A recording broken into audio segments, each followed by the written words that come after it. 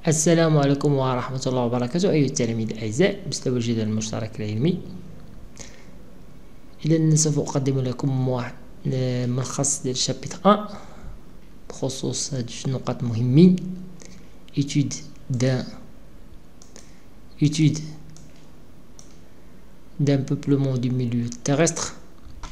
على دراسة ديال دراسة دراسة ميدانية ديال الإعمار ديال الوسط القاري وكذلك لي كومبوزونت دان ايكو سيستيم مع المكونات ديال نظام بيئي ايكو سيستيم على نظام بيئي معين اذا هادو هما جوج النقاط الأساسية اللي تتمحور فيهم هاد الحصة هادي.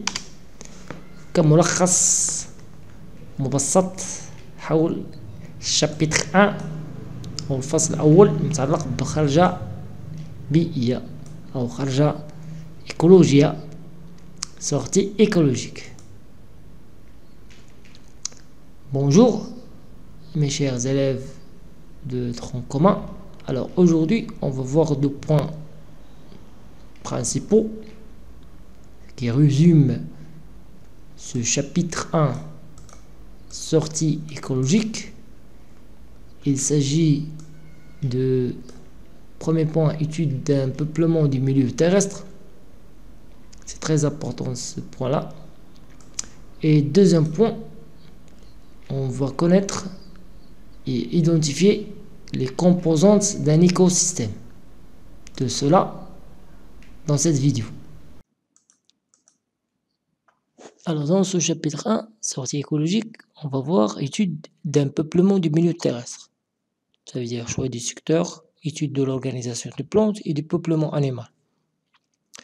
Alors l'étude d'un peuplement du milieu terrestre, on va commencer par choix du secteur au choix du lieu. C'est-à-dire tout simplement un milieu naturel, milieu où l'homme intervient le moins souvent. إذا الاختيار ديال المكان ديال الخرجة خاص ما يكونش هناك واحد التدخل ديال الإنسان مباشر يكون اختيار ديال المكان أو ديال الوسط الطبيعي ملائم لخرجة بيئية وهذا المكان هذا ما يكونش فيه تدخل ديال الإنسان بشكل كبير Le site à choisir ne doit pas être très loin de l'établissement scolaire afin d'éviter la perte de temps, la location de moyens de transport et ses dépenses et les imprévus. خاص يكون المكان ديال الخرجة البيئية قريب من المؤسسة التعليمية. Trois conditions sont exigées pour la réalisation d'un relevé. Trois conditions. يعني هناك ثلاث شروط إجبارية باش هذاك الخرجة البيئية تكون ناجحة. Il y a trois conditions sont exigées pour la réalisation d'un relevé.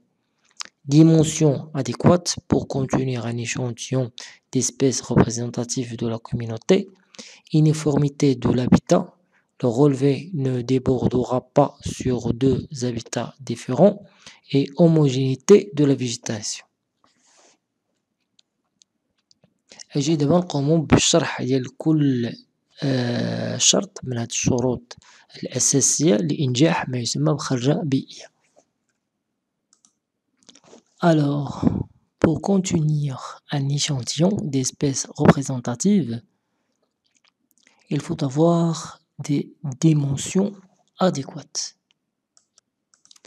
Comme l'exemple d'un herbier qui est une collection d'échantillons euh, végétaux séchés puis disposés sur des feuilles de papier sous forme de planches. Alors c'est un cas des végétaux, on appelle technique de l'herbier. إذا هذه خاصة غير بالنباتات تسمى تقنية المعشبة.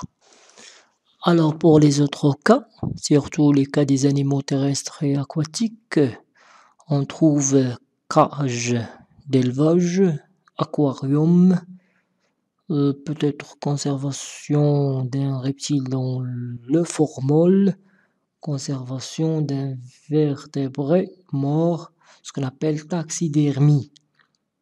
Il y a aussi euh, collection d'insectes. Alors pour la plupart des insectes, les conserver secs et épinglés dans une boîte étanche, ce qu'on appelle type carton entomologique, est le moyen idéal pour les conserver et les présenter.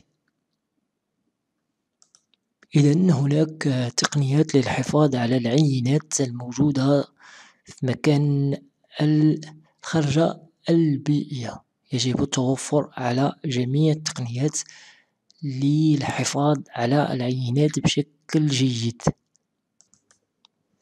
Alors deuxième condition c'est uniformité de l'habitat معناه توحيد الموطن بمعنى أن خاصنا نستخرجو العينات من موطن واحد فقط وليست من مواطن متعددة.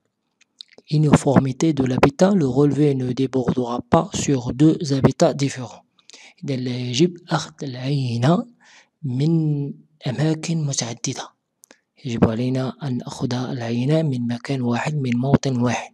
Uniformité de l'habitat معناه توحيد المكان أو توحيد الموطن اللي تنستخرجو منو العينات.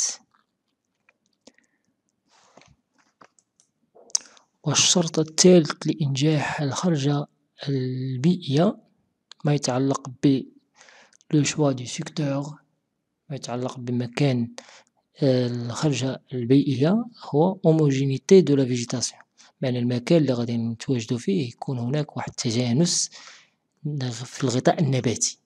إذن هناك كيفية الحفاظ على العينات بشكل مناسب وكذلك آه، توحيد الموطن ديال استخراج هذوك العينات. ما يكونش هناك آه، مواطن متعددة أو أماكن متعددة. وتجانس هذول مهم. هوموجينيتي دو لا فيجيتاسيون معنى تجانس الغطاء النباتي الموجود في هذاك الموطن بالضبط.